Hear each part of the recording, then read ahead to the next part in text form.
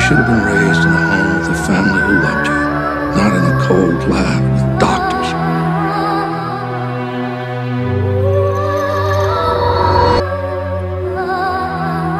I'm sorry. You fucking